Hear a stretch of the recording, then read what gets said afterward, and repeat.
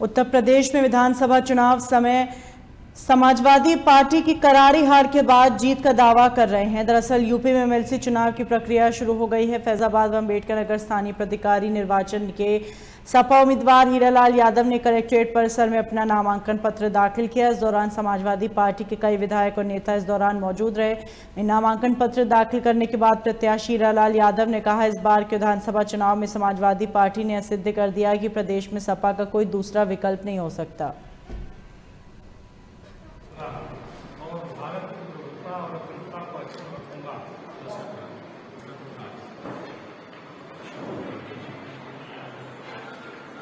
सरकार पंचायती राज का ढिढोरा पीटती है। भारत सरकार दिल्ली में भी और प्रदेश में भी सरकार है। तिहत्तरवां और चौहत्तरवां संविधान ये सरकार अभी तक लागू नहीं किया है।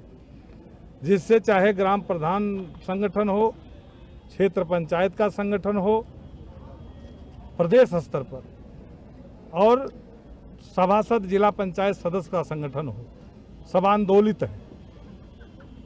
खुशी मुझे है कि पिछले छः साल मैंने पंचायत प्रतिनिधियों की हर समस्याओं को, हर आवश्यकताओं को और उनके हर मुद्दों को मैंने उत्तर प्रदेश की विधान परिषद सदन से लेकर सड़क तक उठाया है।